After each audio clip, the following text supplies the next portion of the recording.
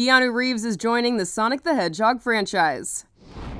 Multiple sources tell The Hollywood Reporter that the John Wick star will voice the popular character Shadow in Sonic the Hedgehog 3. This news comes after Paramount debuted the first footage of Sonic 3 at CinemaCon last week. The first look revealed that Dr. Robotnik, played by Jim Carrey, is depressed and out of shape after the events of Sonic 2 but gets his groove back thanks to creating Shadow the Hedgehog, a character first introduced in the video games in 2001. The character is in many ways the anti-Sonic, dark and edgy while mirroring the hero's powers. Paramount's Sonic franchise kicked off in 2020 with the film Sonic the Hedgehog. The movie overperformed with $319 million globally, becoming a breakout hit in the video game space.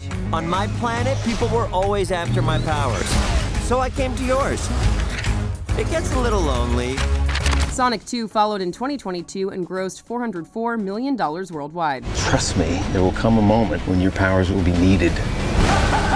But you don't choose that moment. That moment chooses you. I just got goosebumps. Ben Schwartz voices Sonic in the films, while James Marsden plays Tom, a human pal of the character. For more on this story and all the latest movie news, go to THR.com. This is the Hollywood Reporter News.